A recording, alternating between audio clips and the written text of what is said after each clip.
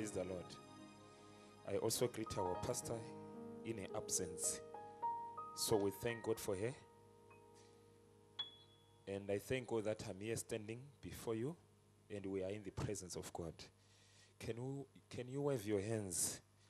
Can we wave our hands wherever you are seated? Praise the Lord. Praise Jesus. Our God is good. And all the times. Thank you that you are here in His presence. We are going to quickly go to the Word of God. I believe that the message that Jesus says for us today is going to change our lives, it's going to change the way we think, the way we do things. And we also greet the viewers wherever you are. And we thank God for the grace. You are also partaking in the grace. Stay tuned. There is a message that God wants me and you to to hear today. Hallelujah. Praise Jesus. I thank God once again for granting me the grace. It's not an easy t- thing to come and stand before the lamp of God. If we look today, the pulpits are being used. If you've got an issue with anyone, you know, I cannot confront you. I have to wait for an opportunity to come on the pulpit. Or if I've got a case against any church, I have to wait for a, an opportunity like this to use it to address you. But I pray that the Lord may help the servants of God, the body of Christ, so that as we stand before the lamp, we preach the gospel of Jesus, not our emotions, not our own issues. I pray, I, it's my prayer always to say, Lord, help me. There might be many things that are happening around our lives, in my life, but may God grant me the grace that I may speak the word of God without addressing any issue. Hallelujah. That's why Paul says that pray that I may declare this gospel as I ought to do it. Because the gospel can be preached in anyhow, in any way. Paul says that even in pretense, the gospel can be preached. Even those in false churches, they use the word. Hallelujah. Praise Jesus. So, as a child of God, you ought to have that relationship with Christ. Have that fellowship with the Holy Spirit, that wherever you go, you must know that in this place there is God. Hallelujah. Where there is no God, I mean, if you have a relationship with Christ, with the Holy Spirit, you can tell that here there is God, here there is no God. So I'm encouraging you also to grow. There are messages where there is God speaking, the Spirit of God addressing us. There are also messages where it's a human being, where it's intellect, because a human being can do anything. Hallelujah. Praise Jesus. I respect people who have the spirit of discernment. I salute those and I pray that God may give me that gift so that you can discern. That spirit is dangerous. I mean, in a good way, because you can tell that here there is God, here there is no God. So, you as a child of God also pray that God may help you to differentiate, to, can tell whether there is the Spirit of God or no. Because there are many churches and still we use the same word of God. Hallelujah. Praise Jesus. I'm just sensitizing you to say the days that we are in are evil. So, you as a person, you ought to cultivate your own relationship with Christ. You have a fellowship with Christ so that you may not be moved to and from. Because all of us will use the word. Sango must also use the word. Hallelujah. Praise Jesus. And I thank God that you are here to listen from the word of God. Your healing, your miracle starts in the word. There are some people who only come for laying of hands. They don't want to listen to the word. It doesn't work that way. Your miracle starts from the word. Listening, you listening from the word. And I encourage the brethren to say, as we listen to the word, it's not a matter of hearing the word. It's not theory. We must put it into practice It's easy for me to can preach and fail to do what I'm saying. That's what Jesus also said. Do what they are telling you, but do not do what they are doing. So anything is possible. But I'm here to encourage you to say you have to cultivate your relationship with Christ. Hallelujah. Be a true child of God without any bitterness, without any issue with anyone. Just come to save God. Hallelujah. You will enjoy God.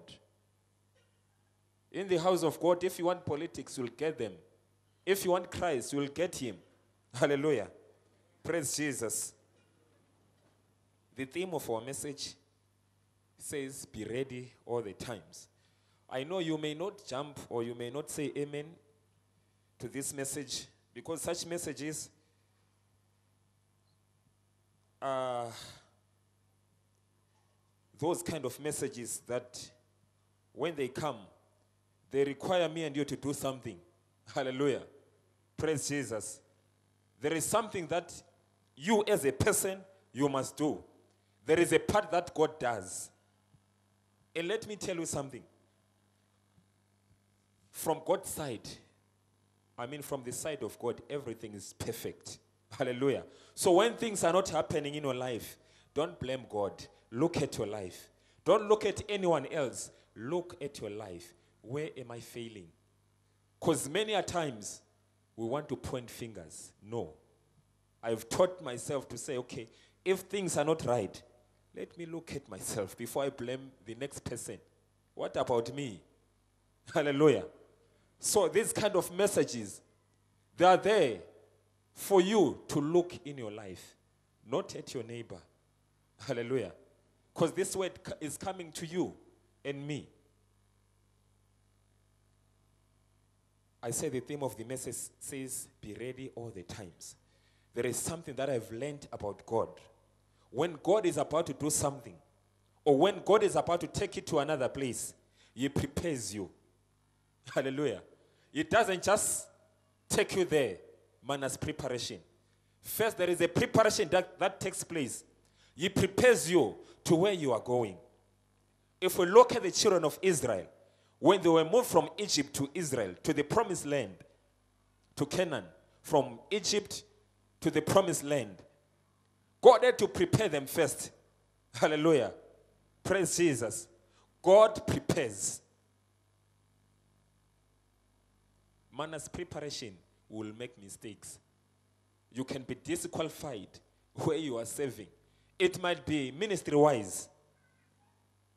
Even when you want a marriage, prepare yourself for marriage. Hallelujah. Are we together? People want things, man, as preparation. When you want marriage, are you ready for marriage? Because there is a certain there is a certain behavior that is required of you in a marriage or anywhere where you want to serve. There is a behavior. There is a kind of life that you must live. Hallelujah. Are we together, church? There are many things that we come across as we live in this path of faith. There are things that many of us we don't care much about, like the life to come. As children of God, I'm here to remind you that now that you are born again, it's not about you coming to church only. Hallelujah. Coming to the services. No there is a life after what is happening now. Hallelujah. That's why the message says, be ready all the times. This is what I've learned. When you don't know where you are going, you will live anyhow. Anywhere can be your destiny. You can change and say, I've arrived. And many a times when you don't know where you are going, you are not disciplined. Hallelujah. Or you, you are easily moved by whatever comes your way. So, but I want you to understand this message when we say be ready all the times.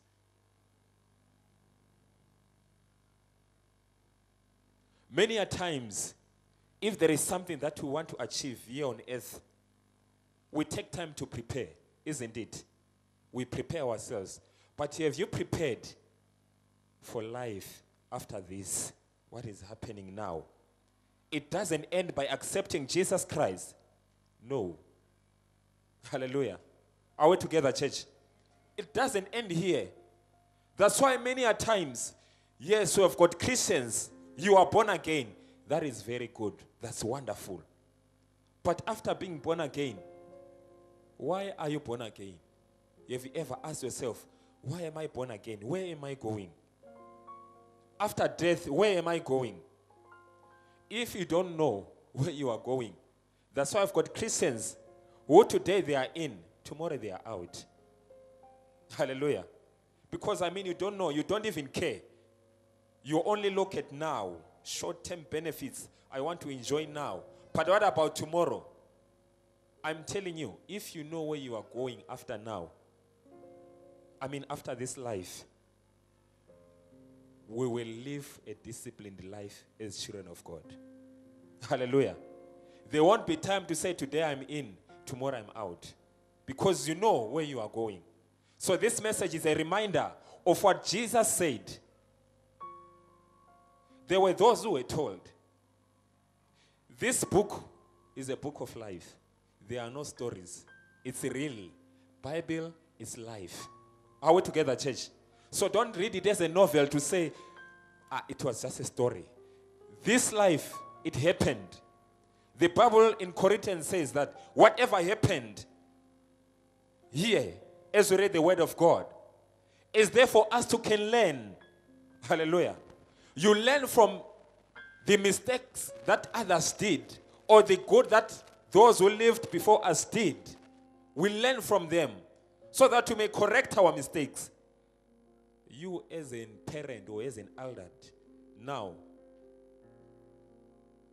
I believe you don't want your children to go the way. I don't. I believe that you don't want your children to go through what you went through. Hallelujah. Praise Jesus. Why?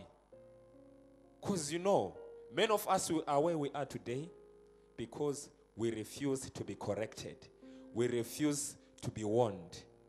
That's why we find ourselves where we are. Hallelujah. But I'm not here to condemn you.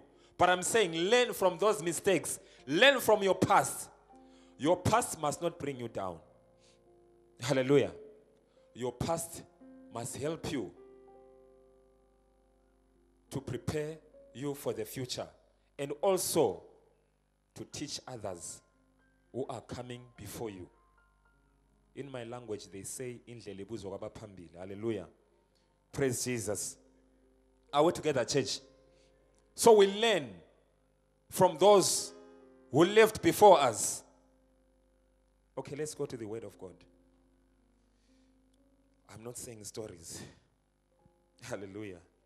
Praise Jesus. We're going to read from the book of Matthew, chapter 24, from verse 36. I pray that you may listen. You remember this message, one of the good days. I pray that it may not be too late. Because this book of life is not about stories, it's not a movie, it's life.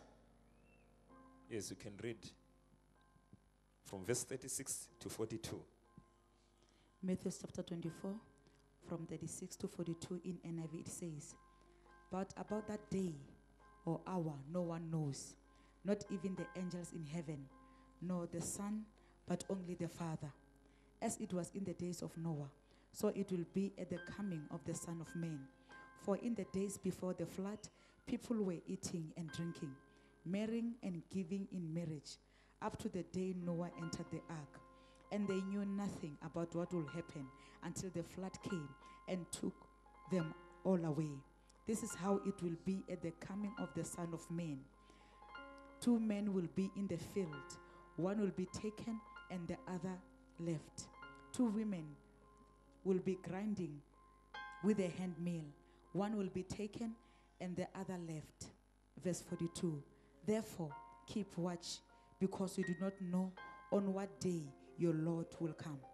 Hallelujah. Praise Jesus. I hope you heard. The Bible says that it happened during the times of Noah. Hallelujah. People were marrying, people were enjoying life. It says that it will also happen the same way it happened. We were taught last week that Noah, he lived a what? A righteous life, a blameless life. He lived faithfully. Hallelujah. In a corrupt world, Noah lived faithfully so. Hallelujah. And he was favored by God. Because God doesn't destroy the righteous with the ungodly. In the corrupt world where you are living, you ought to be righteous. Know who you are as a child of God. Hallelujah. Praise Jesus. I thank God that this scripture says it clearly that these people were being warned to say, please live right. Here we are told that no one knows the day. Even Jesus himself doesn't know. But you must always keep watch. You must always be ready. It doesn't matter who you are. This message is for everyone, born again or non born again. Because many a times, as children of God, we tend to forget. And many a times we play church. But it's an encouragement to say, look at your life. I remember one statement by the bishop one day. He said, The way people are living, it doesn't matter to go to hell with many people. I, I I don't want to go to, to, to, I don't want to lead people to hell. I rather go to heaven with few people. Hallelujah. Are we together, church? To say, if I know very well that I'm not doing things right in a God's way, this message is there to correct me and you, no matter who we are. Even myself, I must find myself ready not to do in and out. Hallelujah. No one knows the day.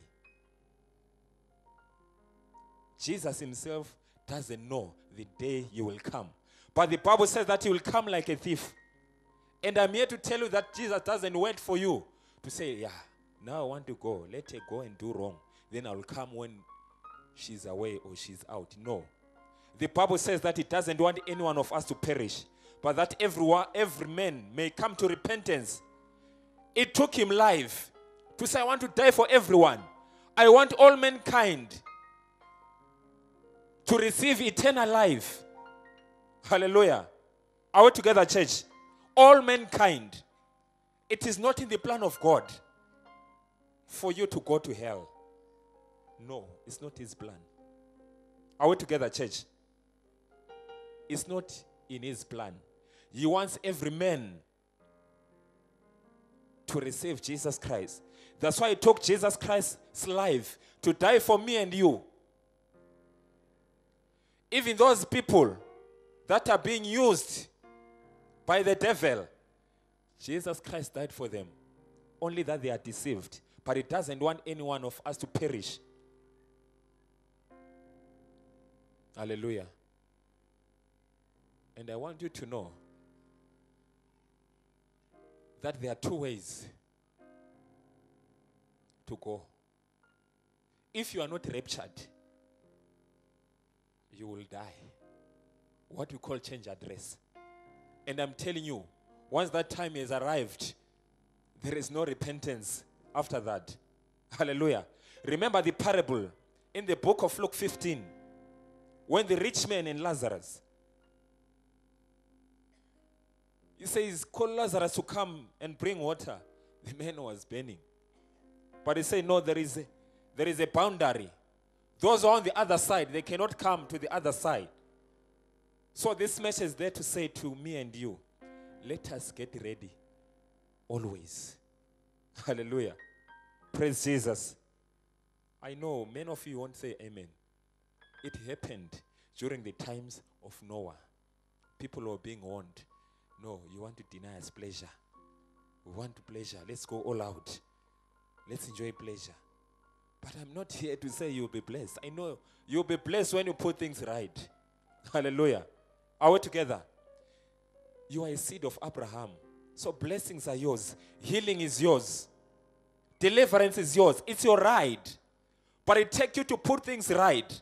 Hallelujah. These things that we are struggling with, once you put things right, everything will flow. Are we together, church? Are you getting what I'm saying? So be encouraged this day. Be encouraged to say, Lord, help me. I want to put things right. I must always be ready. Who knows the day you will go? Either if you don't die, which we say change address, you will be raptured. Hallelujah. The Bible said that those who, who died in Christ, they are the ones who will rise when Jesus Christ comes. They are the ones who will rise first and will be, and we who are alive, we will go, we will follow them. So don't say, no, I used to believe that after I die, then everything is finished. No, there is resurrection. Hallelujah. And I thank God that Jesus Christ said in his word, in John 14, he says, Let not your heart be troubled. In my father's house, there are many mansions. So I'm going to prepare for you. Where I am, I want you to come. Hallelujah. Are we together? That's what Jesus says. He says, I'm going to prepare a place for you. Where I am, I want you to come. So, and he says that I will come and fetch you. Are you ready when he comes? Hallelujah. So it's a question that I'm asking you. Are you ready when he comes? Because he'll come like a thief. Hallelujah. Praise Jesus. I'm telling you the honest truth. It doesn't matter who you are. I understand why Paul says, I beat my body. After preaching to others, I don't want to find myself being disqualified. I can preach here and miss the heavens. That's why Paul says, I discipline my body so that I may not be disqualified. When that day comes, because it will come like a thief. And I'm telling you the honest truth. We are not here forever. Hallelujah. If you are thinking I will live forever, no. Yes, there will be rapture. If you don't go by death, you'll go by rapture. But one or the other, all of us will go. Hallelujah. And what the kind of life that you are living now is the one that will qualify you for eternal life or eternal condemnation. It's not stories, it's real. It also happened during the times of Sodom and Gomorrah. Do you remember? You remember? The Bible says that. Okay, where we started, the example that I gave you of Noah, the Bible says that people were living a wicked life. God repented why He created men. He says, Why did I create men? God was angry. Hallelujah. Why was He angry? Because of the kind of life people were living. Then He said, Noah, because you're a righteous man, build an ark. The same floods that are going to lift this ark is the same flood that is going to destroy these people. Hallelujah. The same word that is being spoken today, that you are listening to, is the same word that will judge you. Remember that day. Hallelujah. Praise the Lord. Praise Jesus. So look at your life. You just have to look at your life. Even the beloved of God, if it's time for you to go, you can go in any way. You can go maybe through an accident, or you can go through a sickness. Elijah was a man, Elisha was a man of God. He was a prophet of God. The Bible says that he fell sick and he died through the sickness. Hallelujah. Praise Jesus. Are together, church? Even through a sickness, God can take you. Whichever way He can take you. even in through an accident. I can go. What is important is where am I standing? As long as I go, what, whichever way I will go, as long as I am in Christ. Hallelujah. Are we together? So be ready all the times. There were people who were thinking, tomorrow I will do this. And they never saw that tomorrow that they were talking about.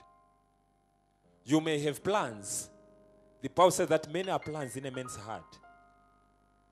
But God is a final word. We are thinking of next year. We are preparing for next year, isn't it? But have you prepared for the life after this? I thank God that also God, what He does when He want to preserve you, there is a man from the Word of God. The Bible says that that man, he was ruling, he was a king in Israel. They sinned. But when he, reali- when he realized his sin, he went back to God and said, Lord, I'm wrong. He fasted, he humbled himself and go before God. And God said to him, Because you have repented, you are not going to see the disaster that I'm going to cause in this city. I have forgiven you, but I will take you to your ancestors. Hallelujah.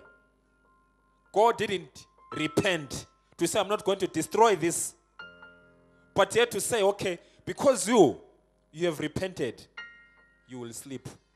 In other words, you will die so that you won't see the disaster that I'm going to cause. God can preserve you by taking you early so that you won't see the disaster or so that you may not sin. Hallelujah. Are we together, church? Is someone getting something? Are you ready for the coming of the Lord? Because you'll come like a thief. Jesus says that both as Christians and people of the world, we are not ready for his coming. Hallelujah. That's why many a times you are in, you are out. As a child of God, how can you have two girlfriends or more than two? How can I have three boyfriends?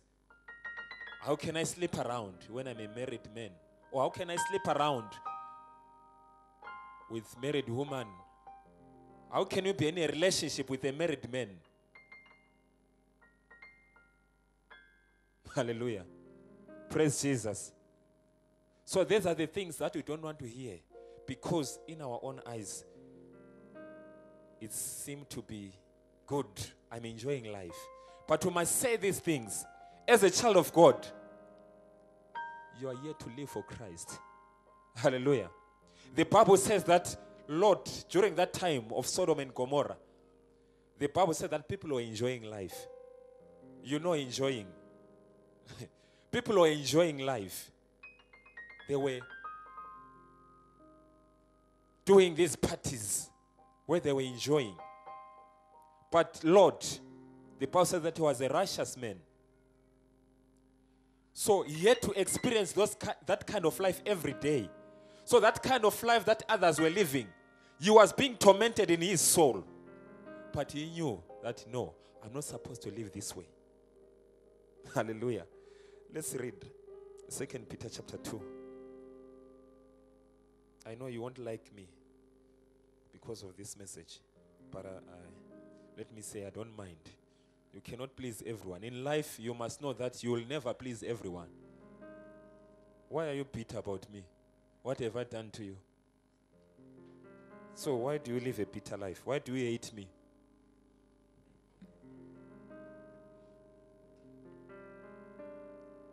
Second Peter chapter 2.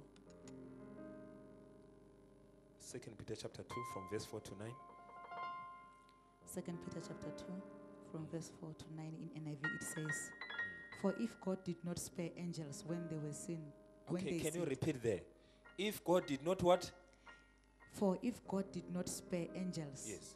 when they sinned, Uh-huh. but sent them to hell, putting them in chains of darkness to be held for judgment. If he did not spare the ancient world when he brought the flood on its ungodly people, When he brought the flood to ungodly people, yes, during the times of Noah, but protected Noah, but protected Noah, a preacher of righteousness, a preacher of righteousness, yes. and seven others. Mm. If he condemned the cities of Sodom and Gomorrah Mm. by burning them to ashes and made them an example of what is going to happen to the ungodly, and if he rescued Lot, a righteous man who was distressed by the, by the depraved conduct of the lawless, Mm. for that righteous man living among them day after day was tormented in his righteous soul by the lawless deeds he saw and heard. If this so, if this is so, then the Lord knows how to rescue the godly from trials and to hold the unrighteous for the punishment on the day of judgment. Hallelujah. Did you hear that?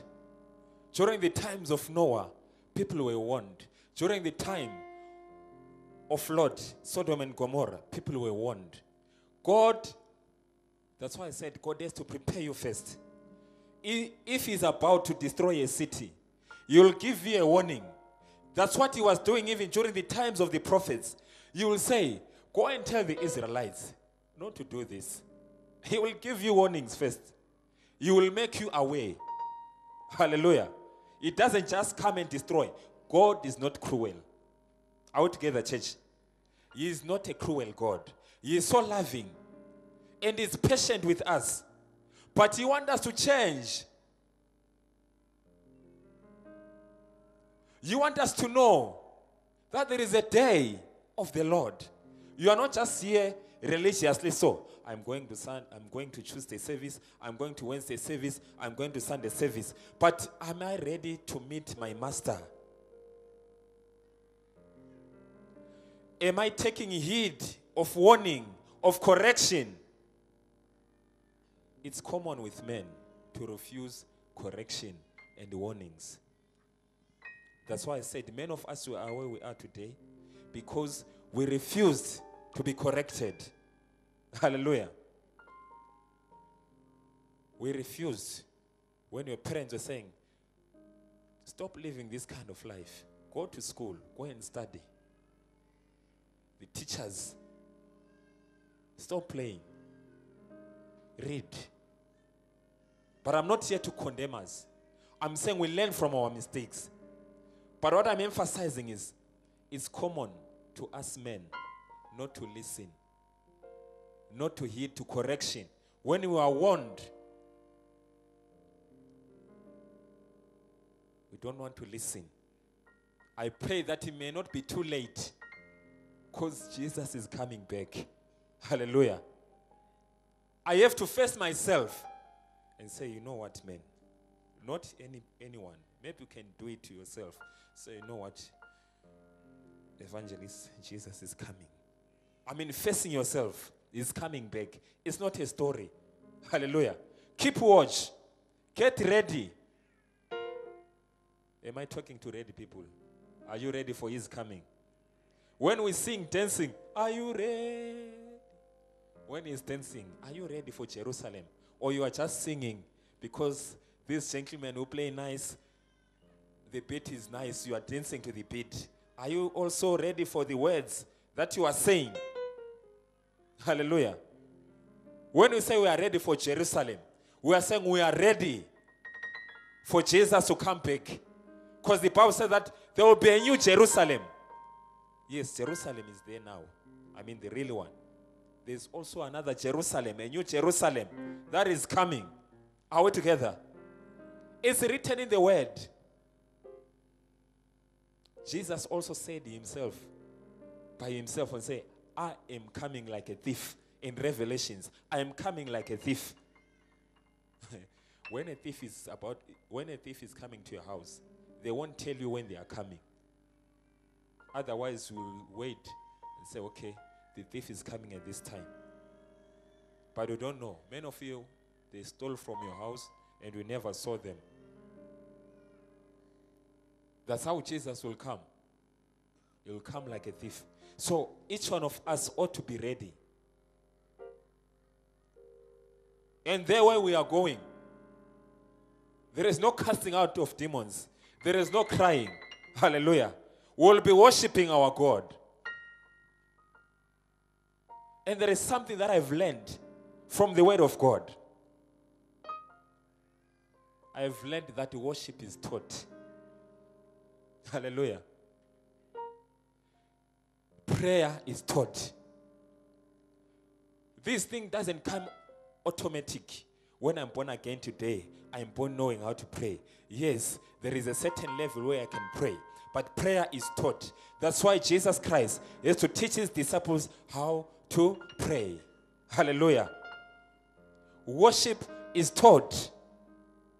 Why am I saying so? Because it's there in the word.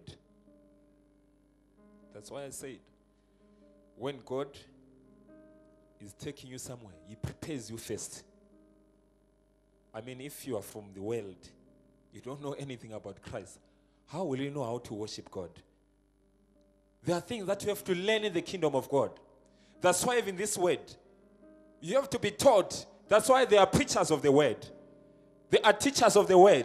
We must be taught so that we may teach others. Hallelujah. This is also helping us to be ready for the coming of the Lord. Let's read Second Kings. Okay, before we go there, can we read this? Second Peter chapter 3. Can you read? Uh, I will jump other verses. Can you read verse 4? Okay, read verse 1. Second Peter chapter 3, verse Yes. 1. I want you to listen very careful, people of God. Dear friends, this is now my second letter to you. I have written both of them as reminders to stimulate you to whole, wholesome thinking. Yeah. To wholesome thinking, to stimulate you to wholesome thinking. Hallelujah. So that you may think in another way. So that you may come to your senses. uh Verse 4. Verse 4 says, They will say, Where is this coming? He promised. Where is this coming? He promised. Ever since our ancestors died, everything goes on as it has since the beginning of creation. You hear now. They will say, Where is the coming? Ye promised ever since our ancestors died. Everything goes on as it is since the beginning of creation. I've once heard this statement. Hallelujah. When I, I was new in Christ, I heard people saying, Ah, you will fall. You, ah. They've been saying this all along. They were saying Jesus is coming back. Ever since you were born, you are young. I believe some of you have been told this to say no.